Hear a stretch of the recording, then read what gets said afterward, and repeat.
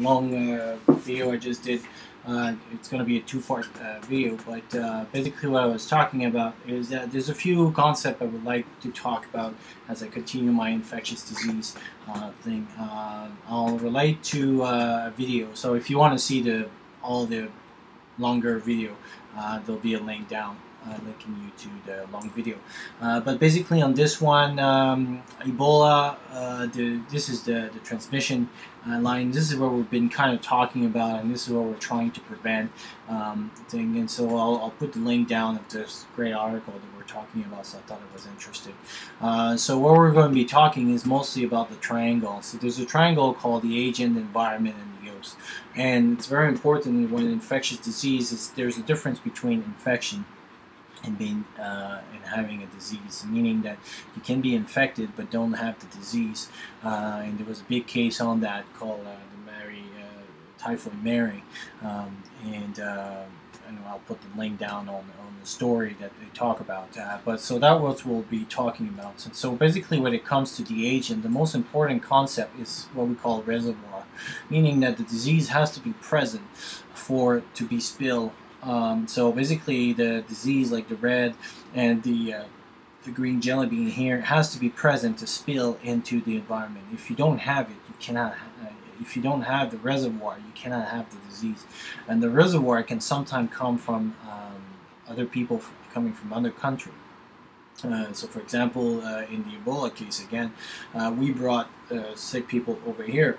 They became reservoir and they were the one transferring. But we couldn't have Ebola by going uh, hunting or or camping or anything here because the disease itself was not as a reservoir into outside uh, healthcare facilities. Uh, so, in proper infection uh, control measure becomes very important, especially when it's related to different uh, agent. So you need to understand the agent that you have to.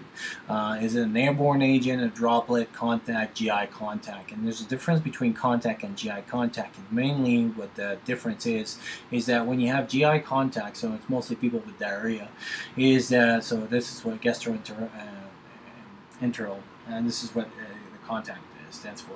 Uh, gastrointestinal, sorry this is what GI stand for, is that uh, what you want is you cannot clean your hands just with alcohol. You have to clean your hands with soap. Uh, so this is pretty much the big difference. And the airborne and droplet, a lot of people kind of misconfuse those two. But the airborne means that if I'm standing behind you uh, and in the same room and it's closed environment, there's poor ventilation, I can still get the disease. Versus droplet, you have to be in front and in a certain area to get it. But mainly that's the big difference. Uh, when we talk about the host, this is the higher risk group, mostly recognized by the World Health Organization, CD, uh, SD, uh, C, CTC. And um, basically, uh, those this is depends on each uh, agent, but mainly those people come back over and over in many of them. So uh, that's why I put that list there. Uh, in an environment, it's basically how the the agents will be transferring. So what you want is um, a good ventilation, spacing, uh, not overcrowding, and well lighted with natural light, aka UV light. So you want to have something that has lights, which is obviously as you see here from the picture, it's not that. There's a lot of um, it's like moisture. So this is pure ground for uh, big infection.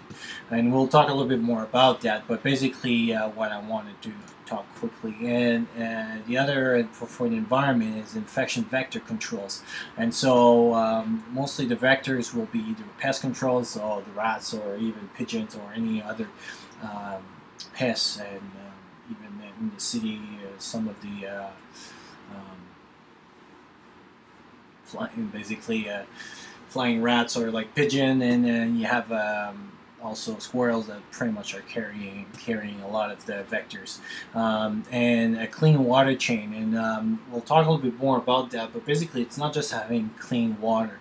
Is you also want to have like from the water when you brought it clean it and everything you want to make sure that to the time that you clean it to the time that it goes to your mouth it didn't get recontaminated by other stuff. So what we'll call we'll talk about more is the clean water chain so anyway, that was the, the quickie uh, video. Again, there'll be a link for the longer video, and I'll talk to you soon.